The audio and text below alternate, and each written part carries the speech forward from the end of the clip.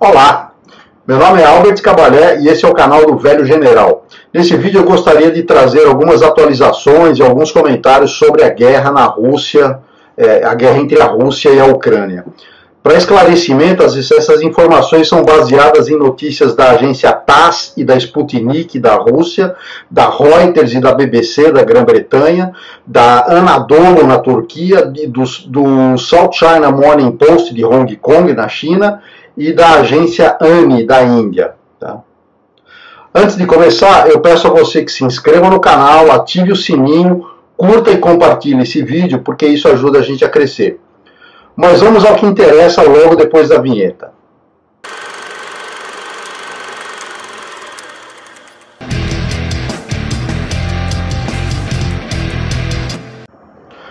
O ministro das Relações Exteriores da Rússia, Sergei Lavrov, disse que Moscou acredita que obter garantias de segurança juridicamente vinculativas dos membros da OTAN é de suma importância. Ele disse que seus colegas ocidentais ainda não demonstraram qualquer disposição de dar garantias de segurança juridicamente vinculativas de longo prazo para os russos e que alcançar esses objetivos para ele e para a Rússia é de importância fundamental. Ele enfatizou que a questão é recusar a expansão da OTAN e abandonar a chamada Fórmula de Bucareste, pela qual a Ucrânia e a Geórgia se tornariam membros do bloco militar liderado pelos Estados Unidos. O Lavrov se, se, se, referiu aí à cúpula de Bucareste de abril de 2008, quando a OTAN convidou a Croácia e a Albânia para aderir à aliança e confirmou que a Geórgia e a Ucrânia também poderiam se tornar membros em algum ponto aí no futuro.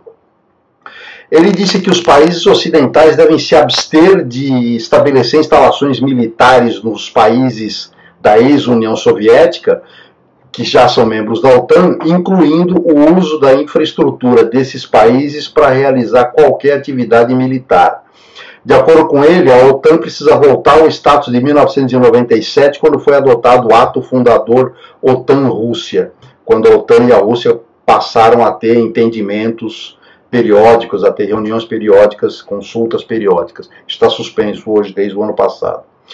Ele declarou também que o Ocidente se recusou a atender às demandas da Rússia é, na construção da agenda de segurança da Europa e afirmou que a Rússia não vai permitir que a Ucrânia adquira arsenais nucleares ele enfatizou que uma terceira guerra mundial seria nuclear e destrutiva e disse que a Rússia tem muitos amigos e que não é possível isolar o país.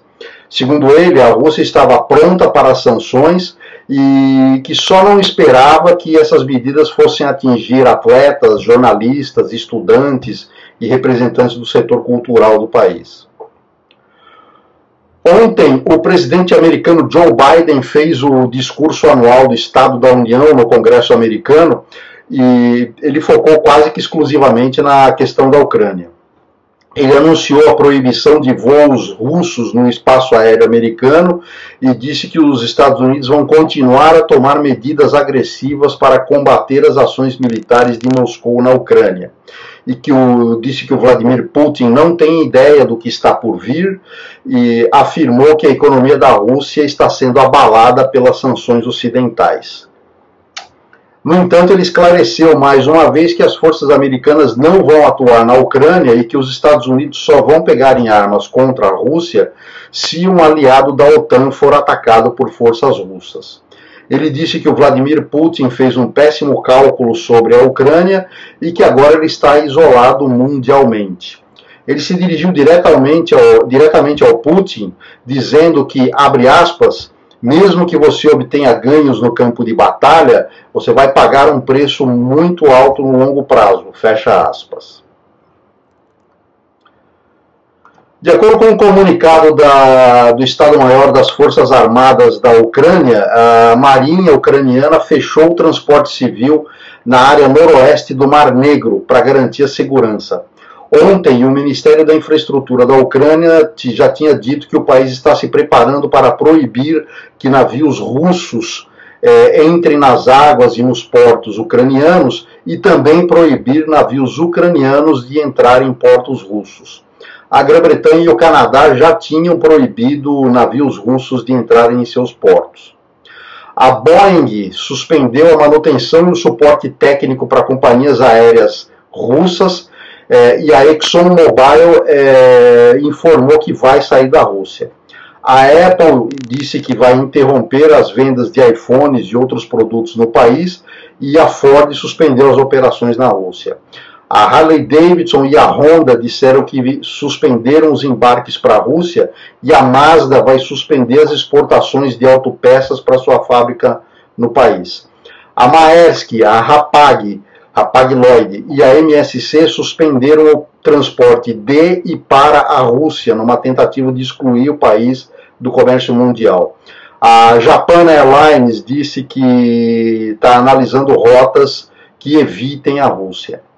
A Airbus também parou de enviar peças de reposição para a Rússia e de apoiar companhias aéreas russas, mas disse que está analisando se o seu centro de engenharia em Moscou pode continuar prestando serviços a clientes locais. A francesa Total Energies disse que não colocaria dinheiro novo na Rússia, mas não chegou a dizer se sairia do país. Ainda hoje, o ministro das Relações Exteriores da Áustria, Alexander Schallenberg, disse que a União Europeia está desenvolvendo um quarto pacote de sanções.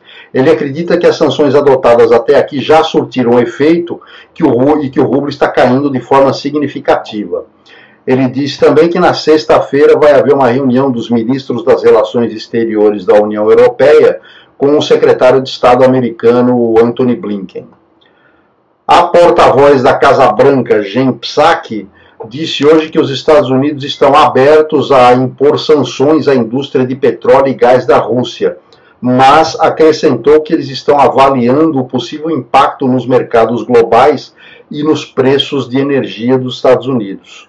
É, respondendo a perguntas de jornalistas, ela disse que os Estados Unidos também estão levando em consideração como eles podem maximizar o impacto para o Vladimir Putin, para o setor financeiro russo, mas querem minimizar o impacto global, incluindo o mercado de petróleo e o impacto nos preços para o povo americano. Ontem, o Sberbank, maior credor da Rússia, disse que está saindo do mercado europeu porque está enfrentando grandes saídas de caixa e que há ameaças à segurança de seus funcionários e suas propriedades. Ontem, a Rússia impôs é, restrições a estrangeiros que busquem sair de ativos russos, o que significa que bilhões de dólares em títulos detidos por estrangeiros poderão ficar presos em Moscou. No Kremlin, o porta-voz Dmitry Peskov disse que a Rússia vai responder às sanções de maneira vantajosa para si e de cabeça fria. Segundo ele, as ações da Rússia vão ser duras, bem elaboradas e precisas. Comentando as declarações do Joe Biden de que a economia russa está instável, o Peskov disse que é claro que a economia da Rússia está passando por uma grande pressão e está recebendo golpes muito severos, mas que tem resiliência, potencial e planejamento e vai se manter de pé. Hoje, o secretário de Segurança da Rússia, Nikolai Patrushev, conversou por telefone com o Ajit Doval, conselheiro de Segurança Nacional da Índia eles discutiram a cooperação de segurança entre os dois países e perspectivas futuras. O embaixador russo em Nova Delhi, Denis Alyopov, agradeceu à Índia. Ele disse que a Rússia e a Índia são parceiros estratégicos e que a Rússia é grata à Índia pela posição equilibrada na, demonstrada na ONU. O Aleopov disse também que não há obstáculos no que diz respeito ao fornecimento dos sistemas S-400 para a Índia, que existem rotas desobstruídas para continuar com esse acordo e que as sanções não interferem de forma alguma. Ele disse também que eles estão trabalhando intensamente na criação de corredores seguros para os indianos presos em zonas de conflito na Ucrânia. O Marechal, Marechal do Ar Sandip Singh, vice-chefe da Força Aérea Indiana, declarou que não haverá impactos significativos pelas sanções da Rússia. Ele disse que a Índia sabe que a situação geopolítica é difícil, mas que as relações com a Rússia vão continuar. Ele também informou que foram enviadas três aeronaves para evacuar cidadãos indianos na Ucrânia e que as operações de evacuação vão continuar até que todos os indianos sejam trazidos de volta. Na China, o Guo Shuqing, presidente da Comissão Reguladora de Bancos e Seguros na China, disse que o país não apoia e nem vai participar da imposição de sanções contra a Rússia e que vai se esforçar por manter laços comerciais e financeiros normais com Moscou e com Kiev. Ele disse também que a China não aprova sanções financeiras, pois seus efeitos não são bons e não têm muita base legal. Ontem, o ministro do Comércio, Wang Wentao, já tinha dito que a China espera manter o comércio normal com a Rússia e com a Ucrânia. O porta-voz do Ministério das Relações Exteriores chinês, Wang Wenbin, também reafirmou hoje que a China se opõe a quaisquer sanções Segundo ele, as sanções nunca foram uma forma eficaz de resolver problemas e que só vão trazer dificuldades à economia e aos meios de subsistência das pessoas nos países envolvidos, intensificando ainda mais a divisão e o confronto. Ele disse que a China e a Rússia continuarão com o comércio normal e exigiu que, ao lidar com a questão da Ucrânia e as relações com a Rússia, os países, os demais países não prejudiquem os direitos e interesses legítimos da China e de outras partes envolvidas. No México, o presidente Andrés Manuel López Obrador disse que o país não vai impor sanções à Rússia e que o México quer manter boas relações com todos os governos do mundo. Na sexta-feira, a Lukoil, segunda maior produtora de petróleo da Rússia, disse que concluiu a aquisição é, de uma participação de 50% em um projeto de petróleo offshore no México. O presidente mexicano também criticou a censura às mídias estatais russas, dizendo que não concorda com o fato de que a mídia russa ou de qualquer país seja censurada. No Brasil, como nós já sabemos, o presidente Bolsonaro já declarou que vai se manter imparcial quanto ao conflito e não está aderindo a nenhuma, a nenhuma sanção contra a Rússia.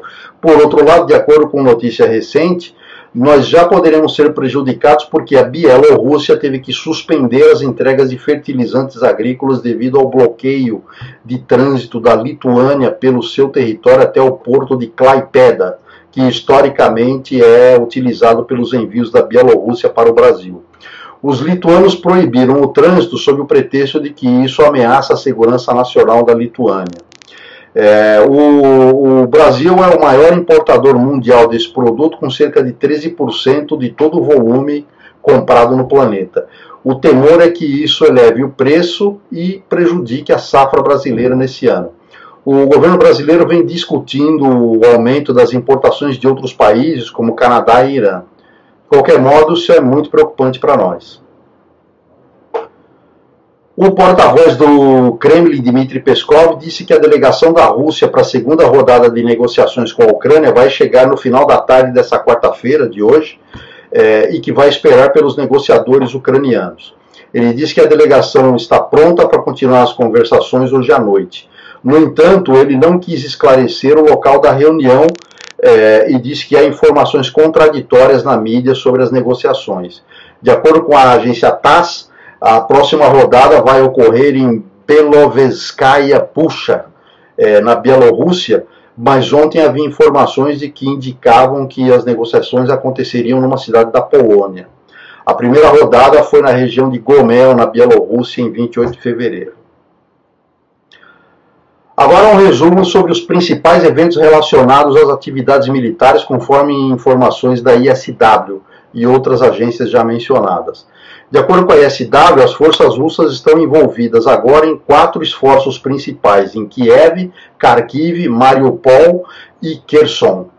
Em Kiev, o ataque russo provavelmente consiste de um esforço principal para cercar a cidade pelo oeste e um esforço de apoio ao longo dos eixos de Chernihiv e Sumy para cercar Kiev pelo leste.